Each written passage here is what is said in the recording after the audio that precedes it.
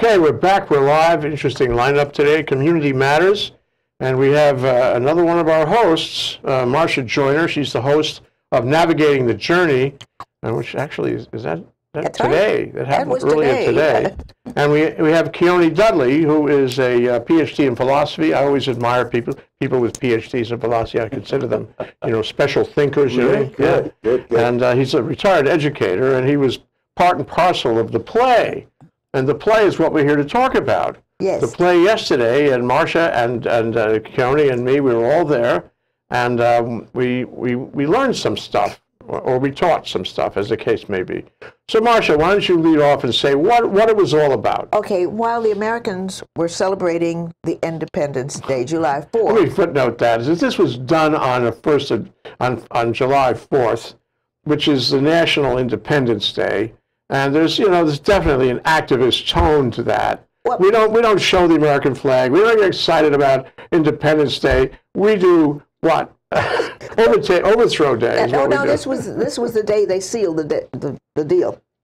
Um, so while the Americans, because it was planned, while the Americans were celebrating 1776 and whatnot, the provisional government planned this taking the This is back of in office- 1893. 1894 when they after their constitutional convention to put this thing together they decided that at 8:30 on the July 4 1894 at the exact minute that the ships in the harbor would toot their whistles to celebrate the 4th of July they would swear themselves in as the Republic of Hawaii Oh, so there was a historical So significance they, they set it to doing the play at Iolani Palace on on July that- 4th. exactly where they took the oath of office. Yeah, exactly. And I kept thinking that it was on the same ground, the same, Same steps, place. the same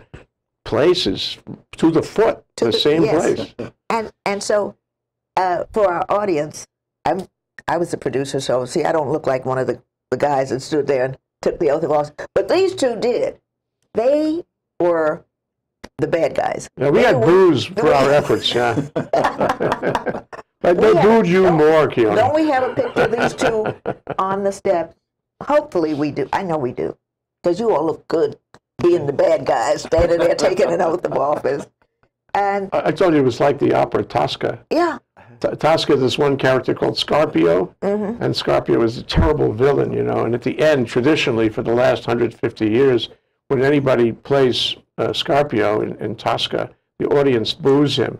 And the better a player he is, the more they boo him for being mean and a villain person. well, so the booze, as they were introduced as the Honorable James Blaine and the Honorable Everybody was the honorable something somebody, rather- yes, the Honorable W.O. Castle. The audience would boo his, he's not honorable, boo, boo, boo. and as they, the plot unfolded, the audience was just wild. Oh, they got very excited at the Yes. end. So, and we weren't alone here, Kioni and me. No, There there was uh, were Peter Carlisle stood next to me, and Roger Epstein, and who else? You had a, a number. Jeff Pompadour, just great. He was very good. Yeah, Yeah. There we are. There we are. Oh, there's a That- picture of us, that's- yeah. Now that was you- quite something. Only yesterday, in Only front of the yesterday. Iolani Palace. Yeah. Um, there Oh, it that's is. me. Yeah. Oh. The Honorable James G. Blaine. See, that's Yeah. your name there. Yeah, Yeah, yeah.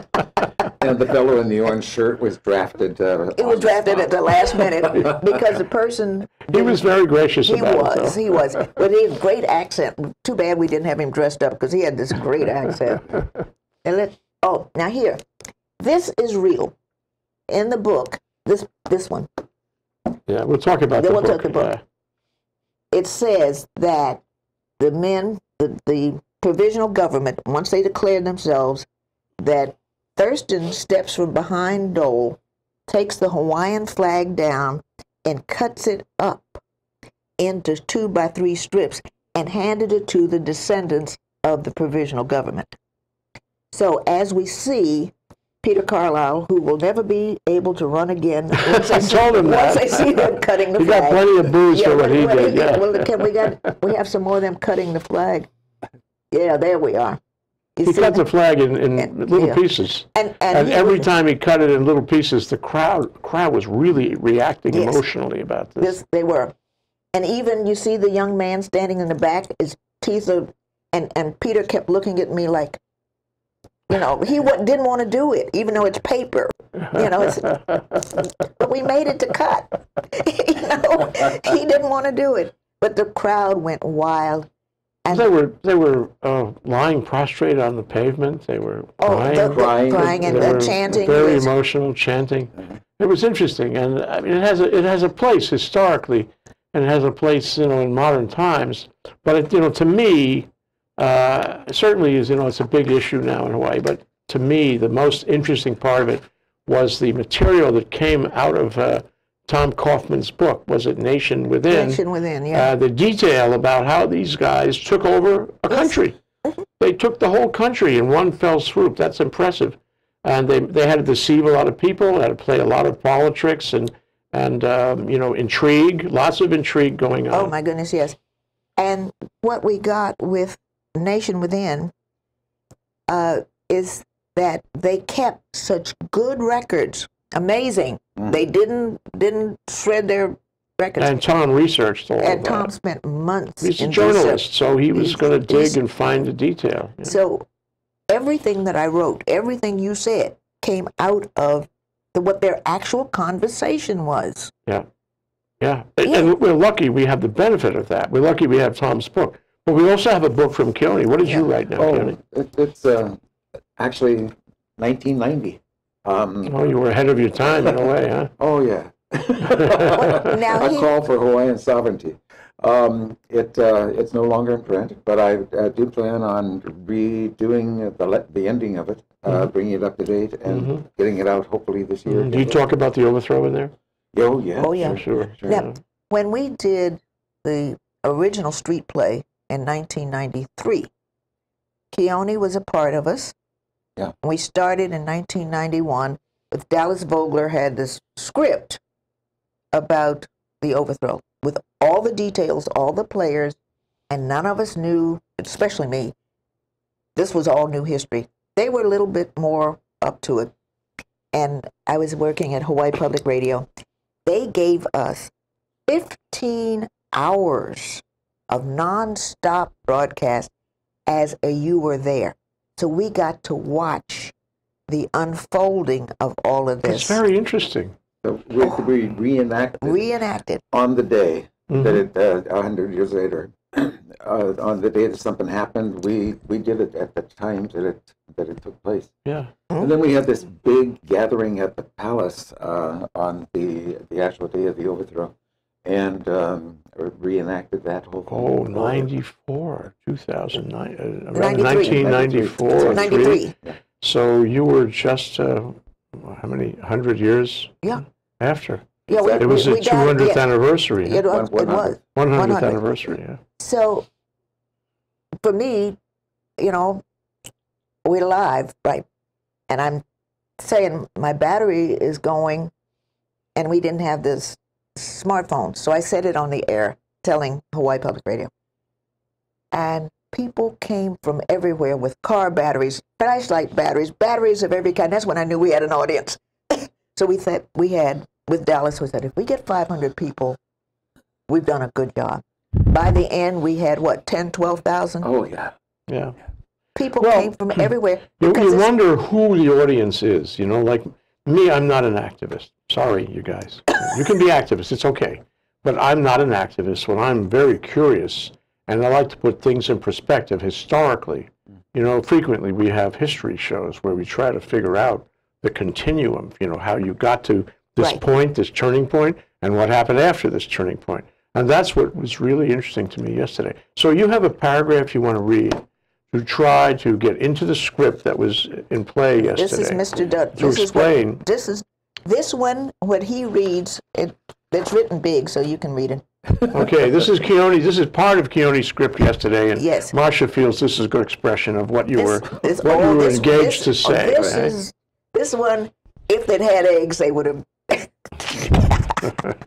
Go ahead. All right. So uh, you, um, you have to realize that we're we're really uh, we who are going to now uh, form the republic are only doing it so that we become Americans later on. Okay, and we are Americans. All of us who do that are Americans right now.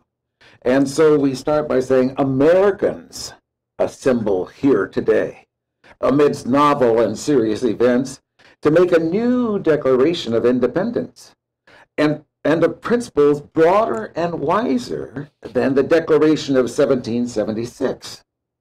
We gather to make solemn declaration that the intelligent minority in every community have the inalienable right to good government, which they are justified in securing, holding themselves responsible only to God and their own consciences for the just and proper use in their uh, uh, for the just and just and proper use of power in their hands. It's very interesting. Keep going. No, we can't, we can't spend all time. Oh, no, no, there's, there's some salacious parts in this one. Of course there are. There's salacious parts all the way through, Marsha. And, and we- you know, what I want to get at is the, the devices that these guys used in order to fool the public. Because those devices, you know, arguably are still in play at the national level right now.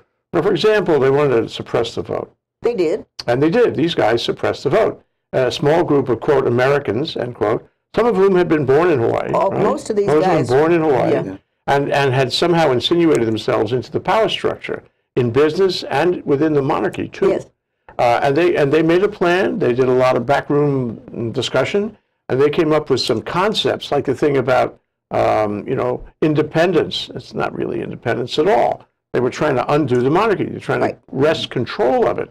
Uh, and, um, you know, the thing about uh, suppressing votes, uh, suppressing the ability of Native Hawaiians to run for office, uh, all kinds of things. When they said about suppressing the vote, we think of it today as, well, not enough places to vote.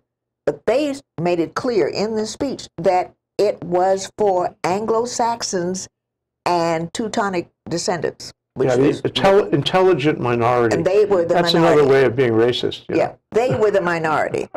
And then they used the, uh, Thurston used the Constitution of Mississippi, the state of Mississippi, 1891. Well, you know what that was, because Mississippi didn't get around to cleaning it up till 1960.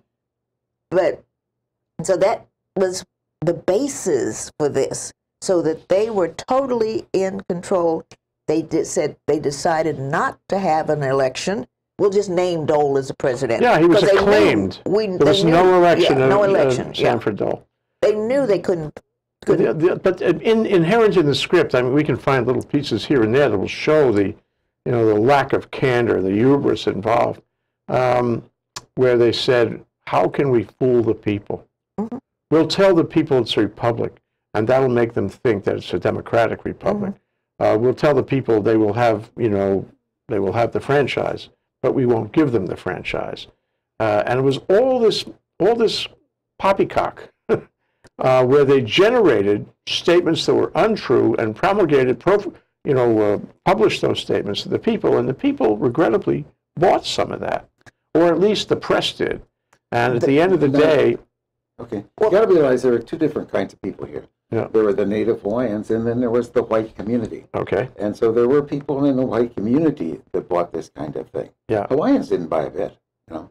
And the other thing, Jay, is you got to realize that all of this was sugar and money, and and and trying to become a part of America was because it was business, and and we need our sugar project, uh, protected. Uh, the after the missionaries came, they had children. These are the children. Uh, they grow up. They go to college on the on the mainland. You know, they're, they're big schools, and they come back, and they're really somebody. And and and then by that time, they start to buy up all of the land and lease all the land and so forth, and, and build sugar companies.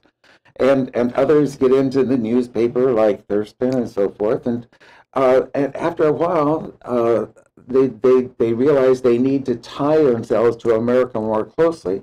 But this is exactly at the time that America wants to take us over because they're they're planning and the manifest manifest destiny, destiny. They're, part, they're- uh, related to the Spanish-American War. And Yeah. but even before that, with the Civil War, when the sugar and cotton, uh, when they you know, the slaves were in became the war, profitable industry. then they needed Hawaii because of sugar and cotton. Yeah. And so the economy of Hawaii really advanced during the war because of what it did to the, sou- the southern states. Okay, so, uh, So we- you know- coalescing on all of that, uh, it seems to me, and, and looking at the play that happened yesterday, the question is, where was the monarchy when this was happening? Did they not? Uh, don't answer yet. They did not. See, did they not see this coming? Yes. Um, did they? You know, could could they have done a better job at preventing what amounted to a political coup? And right after this break, Marsha, Okay. we're going to get into that. You guys Yeah. can tell me the answers. Okay, we'll be right back after this break. Aloha, my name is Stephen Philip Katz. I'm a licensed marriage and family therapist, and I'm the host of Shrink Wrap Hawaii, where I talk to other shrinks. Did you ever want to get your head shrunk? Well, this is the best place to come to pick one. I've been doing this. We must have 60 shows with a whole bunch of shrinks that you can look at. I'm here on Tuesdays at 3 o'clock every other Tuesday. I hope you are too. Aloha. Aloha, my name is Raya Salter, and I am the host of Power Up Hawaii, which you can see live at from 1 to 1.30 every Tuesday at thinktechhawaii.com and then later on YouTube. I am an energy attorney, clean energy advocate, and community outreach specialist. And on Power Up Hawaii, we come together to talk about how can Hawaii walk towards a clean, renewable, and just energy future. To do that, we talk to stakeholders all over the spectrum, from clean energy technology folks to community groups to politicians to regulators to the utility. So please join us Tuesdays at 1 o'clock for Power Up Hawaii. We're back. We're referring to uh, the play. Uh, Marsha was the producer, or one of the producers of the play yesterday on the Iolani uh, Palace steps. Kioni was one of the players, and I was, I had one line. it's okay. She made me do it. Anyway, I can never run for public office again. I never ran public office in the first place, so it doesn't make too much sense. So, in any event, so I want to get to you know the the actual engagement. I mean, we've discussed you know the uh, the backroom quality, the cigar-filled room quality of this. Um, we've we found that Americans were the haole guys, many of whom, if not most of whom, had been born in Hawaii anyway, uh, who had been given the sacred keys to join the the, the monarch- monarchical court and be with the royalty and have information about how they operated. But but here the monarchy was pretty pretty sophisticated in those days. What happened? Okay, let's step step way back. The Civil War. Uh, Kamehameha the Fourth uh, did not want to go in on the side of the Americans. He wanted to stay on the side with the South. Not about slavery, but if the South won, he knew then that he could stand up to annexation. If, and he says this in his book, not this one, but another one, about his, so he had to, but the, the same people, the, the haole elite is what they called them, were, wanted to go in on the side of the North because they wanted the, the United States to stay intact. That meant the economy would stay intact. So, So they were making bets on the result of the war. so he came in as neutral. Hmm. So if you read the record, he is neutral in the war. Did that play a role in the overthrow? Yes, it was the same people. Mhm. The sons, the grandsons, they're moving forward, but they managed to stay together to keep him from going in on the other side. Mm-hmm. So I, what- what I, So what I hear you saying is that although, as we know, you know, the monarchy was becoming global, becoming more sophisticated, more worldly.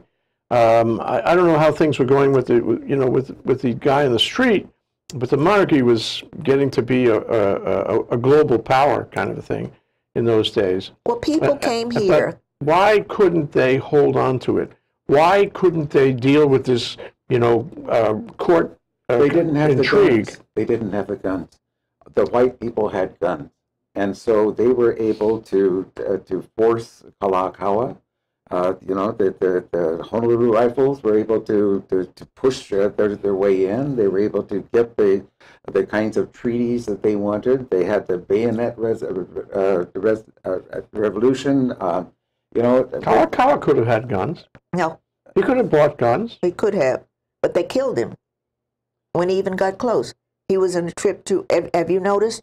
All of the Kalakauas die mysteriously of some kind of strange ailment. Any, anything been documented? Anything been shown? No, no. They said But, but a had, suspicion that maybe oh, maybe these happens guys too were often, too too regular. assassinating Yeah. the royalty. He goes to San Francisco, never comes back. You know. Mm. So he, he knew that he was going to be overthrown, uh, and and so he sent word to the um, to the United States and asked for their help because um, at- at- they, we had treaties with them, you know, and and that they, they had the obligation to to defend him, and who he sent was. Um, Let's let's refer to, to, Kioni's book. Yes.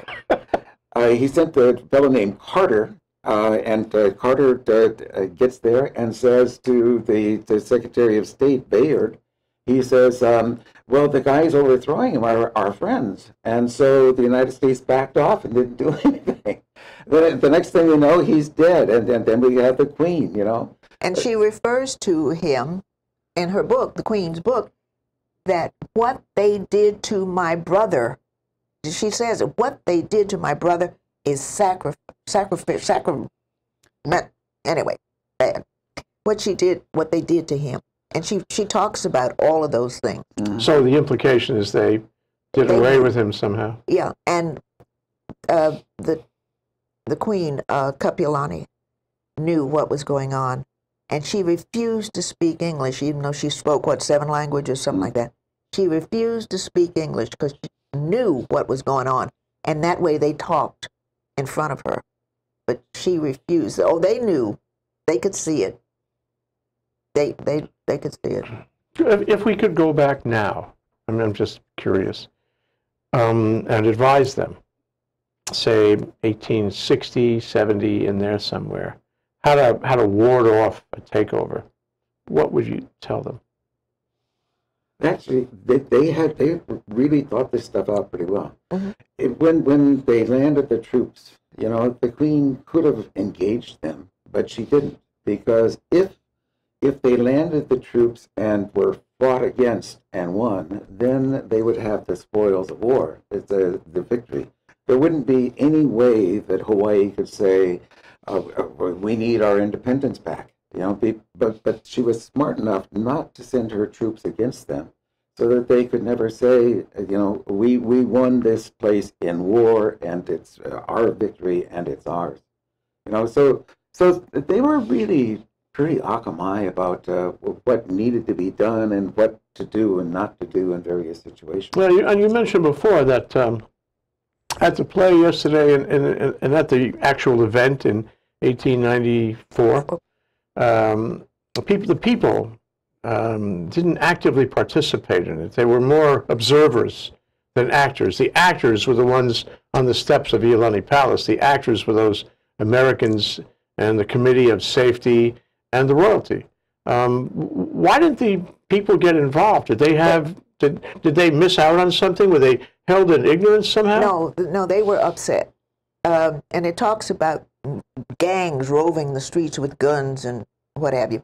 And part of what she had to do was damp that down. And the smartest thing, well, not the smartest, when she did, quote, surrender, she did to the United States of America, not to the provisional, the public safety, to the United States. And that forced the United States hand because I'm ceding power to you, not to them. And, You know, and that, that held off for a long time. would you have advised her otherwise? Would you have advised her to use her troops now? No. No. If you could look at? No. So you agree with what she did? oh, yeah. But she Yeah, set herself up, didn't she? Well, you know, you have to realize it was the United States all the way along. Uh, you- you played the part of James Blaine. He was the Secretary of State at the time. He and the uh, the foreign minister here, the, uh, John Stevens, and they were the best of buddies. They had worked at, at a newspaper in uh, Maine Kennebunkport. th- th- 30 years before. Uh, They, uh, it- uh, Blaine, as he rose in power, he would appoint John Stevens to various It was all positions. connected. Oh, When- yes. When they came, oh, yeah, and the overthrow was planned by the United States. And it had been ramping up a long time. Oh, yes. And these guys were establishing relationships that sort of led inevitably to do what they wanted to do. But, you know, but it happened on July 4th, Yes. and that's meaningful to me in the sense that you know, right now, these days, more than ever in my lifetime anyway, there are questions about the way the federal government works, um, about how uh, effective it is and, and about how know, vulnerable it is.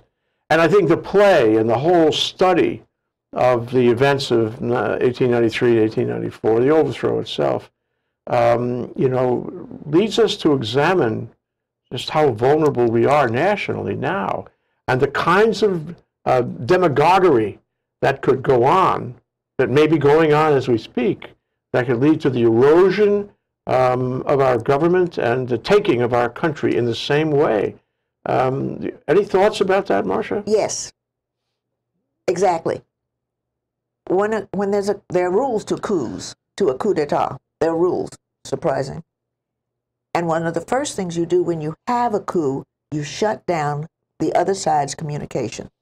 So, we didn't rehearse this, by the way. so, so you know that the first thing they did, at that time there were 80 newspapers in Hawaii. 80. This was the most literate place in the world. 80 That's different right. I've language, heard that many times. different language papers. The first thing they did is shut all of them down. All of and the, them. all of them. And the only paper was Thurston's paper in English. So you Is had that like a war on the press, perhaps? like the fake news, yes. Hmm. Exactly.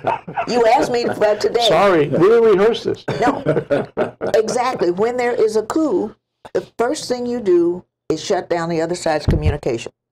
You control the communication, and that's what they did. So there were all these steps, and, and that's what the, the play gave me. I mean, it's like calling this a closer look Right. at the overthrow.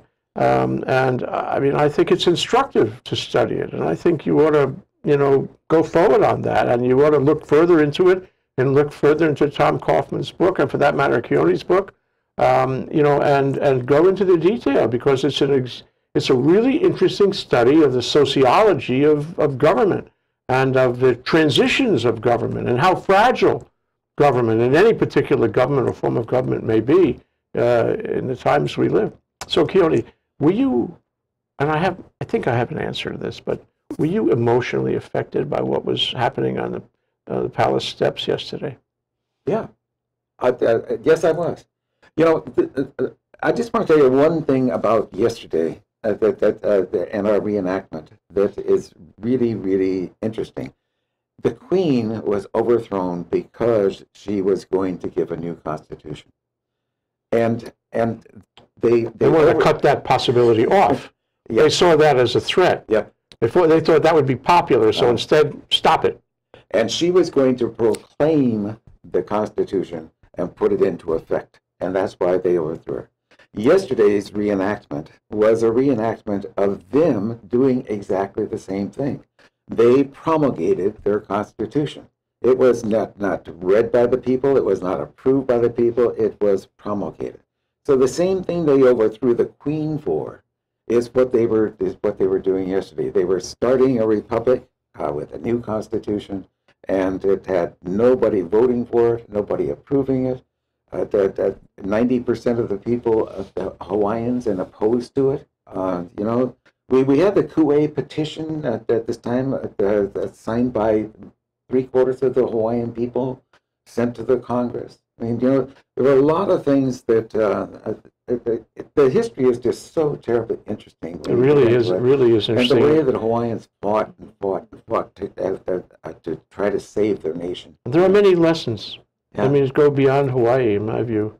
I mean, one of them is um, the price of liberty is eternal vigilance. Eternal. You cannot be complacent. You cannot take anything for granted. You got to protect what you have. If you like it, protect it, and that that means don't be an observer. You know, be active about it. Well- so you get a chance to close because you're a closer, and we only have a minute left. So close quickly. I call me a grain of sand. And you ask, why a grain of sand? With an oyster, you know, when the grain of sand gets in the oyster, the oyster begins to put this seal around it. And the more the sand grows, the, the more the oyster takes protect itself, the prettier it grows, the prettier it grows. So the world needs people like me, the irritant, to get under the skin to make a really beautiful world. Yeah. So that's what we did yesterday was get under Okay, your we've, skin. so we've learned two things here today uh, with Marsha Joyner She's an and irritant. Kioni Dudley. One is, if I may, um, the price of liberty is eternal vigilance, and the other is Marsha is a very irritating person. Yes. Thank you both. Thank you. Aloha. Aloha.